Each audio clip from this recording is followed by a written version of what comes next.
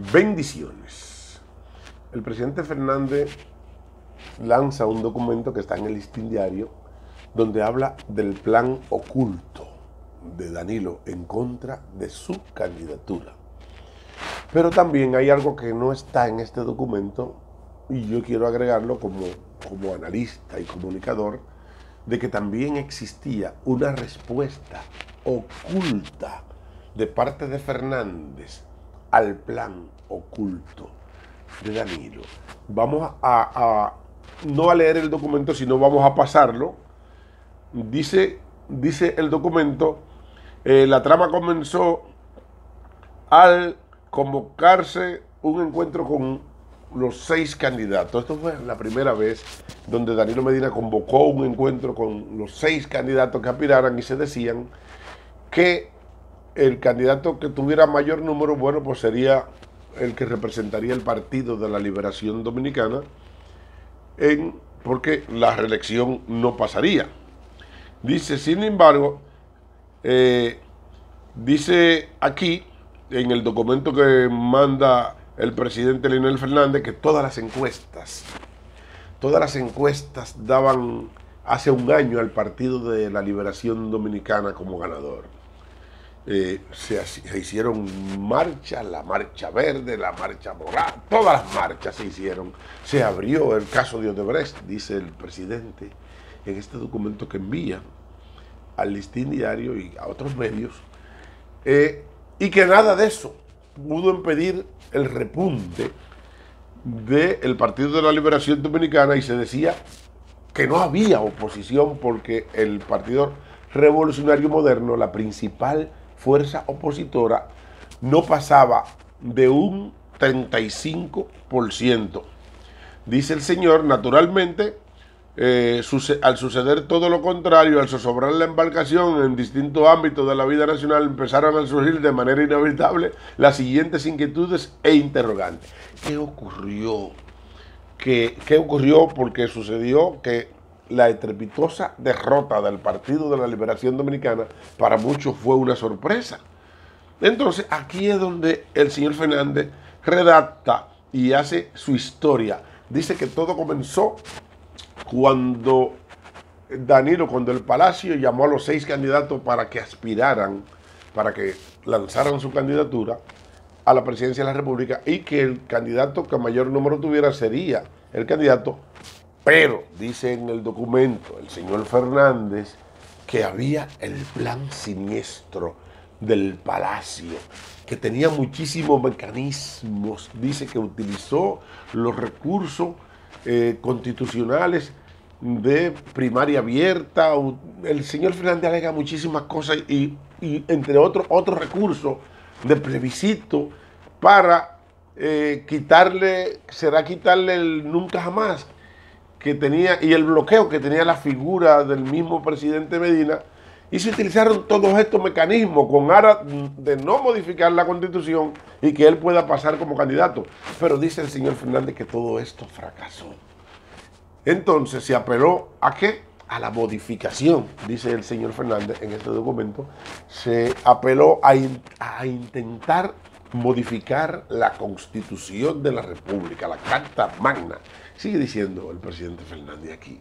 Lógicamente dice él que esto encontró el repudio de toda la población, dice que diputados de la patria se lanzaron y la oposición completa. Eh, este fue el caso en el que el presidente Fernández encabezó aquella aquella famosa manifestación frente al Congreso Nacional para impedir la modificación constitucional para que el presidente Medina no se religiera y que todo convocó a toda una multitud de gente frente al Congreso. También el presidente Abinader fue en aquella ocasión. Esta fue, esto es lo que él está diciendo, que vino. Y esto trajo como consecuencia, ya aquí comenzó a diezmarse la popularidad del, del danilismo con todas estas protestas, porque también a esto se le agregó lo que era la protesta frente a la bandera donde la gente estaba pro patria y un sinnúmero de cosas. Entonces, dice el presidente en este documento que eso trajo como consecuencia hasta la llamada, no lo dice aquí, pero yo le estoy agregando eso, hasta la llamada de Pompeo, que eh, lógicamente, barajó los planes del danilismo eh, para que pudiera modificar la constitución y ser volver a un tercer periodo consecutivo, porque modificó la constitución la segunda vez. Entonces, ya aquí no había para atrás. presidente Fernández, dice él, tenía en las encuestas, le daba un 70-30 a todos los candidatos. Dice que se volvió a convocar, en este documento dice que se volvió a convocar a los seis mismos candidatos, eh, dice él en el documento, para que el que saliera eh, mayoritario en las encuestas sea el que representaría el sector danilista, porque en este momento se hace claro la división dentro, dentro del partido oficial, ex partido oficial, que ya es otro. Sin embargo, dice el, presidente en este documento que se hizo un mamotreto y se desconoció todo, todas las encuestas a los otros candidatos que él realmente no sabe porque ellos siguieron apoyando el dalinismo y se impuso un candidato sin ningún mérito, eh, solamente con el propósito de que fuera un candidato títere del Palacio Presidencial. Y entonces, en ese momento, dice que comienza a ponerse en marcha el plan oculto. Dice que el plan oculto eh, fue que el frenar las aspiraciones presidenciales, porque dice que a partir de que surge la candidatura del candidato, se refiere evidentemente al penco, a Gonzalo Castillo, dice que las encuestas lo daban un 70-30, dice Fernández.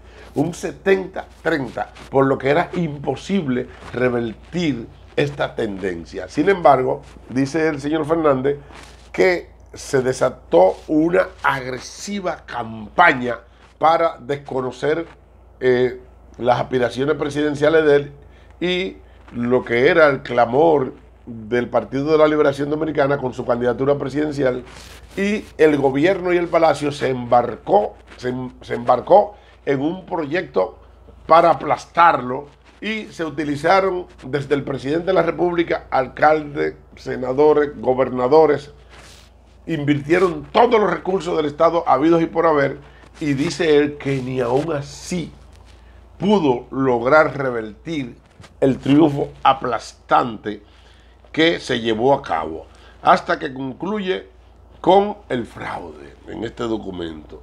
Dice, impedido de cercenar por segunda vez en forma consecutiva nuestra Carta Magna y por tanto de poner en riesgo la estabilidad del sistema democrático del Palacio, eh, se encontró de ahí en adelante, se centró de ahí en adelante en bloquear mi candidatura. Entonces ahí es que le explica todo, todo, todo lo que se orquestó. Y sigue diciendo que el mismo día 6 de octubre, a las 6 de la tarde, cuando se terminaron las votaciones, este plan no se había consumado, pero ellos tenían un plan Z, que ni siquiera es un plan B, y es que ellos siguieron con los colegios abiertos, llevando viejitas y gente y pagándole para que votaran en todo el sur y todos esos pueblos y la, votación se terminó a las 4 de la madrugada. Eso es lo que yo estoy interpretando de lo que el presidente Fernández está diciendo en ese documento. Y entonces, eh, con todos esos mamotretos, es que ese 2%, un 1%, me parece que fue un 1 o un 2%, que Gonzalo Castillo le llevó a Lionel, porque no había otra forma de que el PENCO fuera candidato presidencial. Es en ese sentido que el presidente Fernández dice que surge la fuerza del pueblo. Aquí es donde yo no estoy de acuerdo con, el plan oculto. O sea, estoy de acuerdo con el plan oculto en su contra, claro, evidentemente que está de acuerdo. Ahora bien, de que se formó la fuerza del pueblo para, eh, para enfrentar el plan oculto. No. ¿Por qué razón? Porque ese plan oculto que el presidente Fernández asegura que existía, ya él lo conocía desde antes de que se, intentara modificar la constitución y desde hace un año atrás. ¿Por qué? Porque el término la fuerza del pueblo no se inventó el día 6 cuando se le hizo el fraude. el término la fuerza del pueblo se inventó un año antes y fue un proyecto que se movilizó un año antes.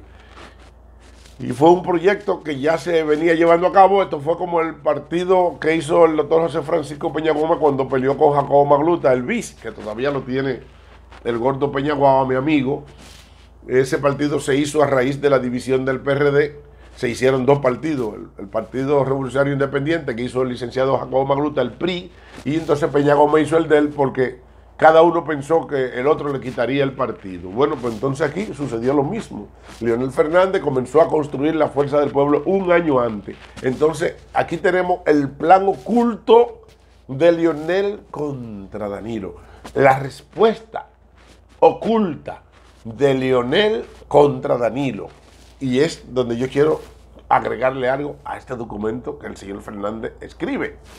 Cuando ellos imponen al penco como candidato presidencial, dice ya, porque ya somos.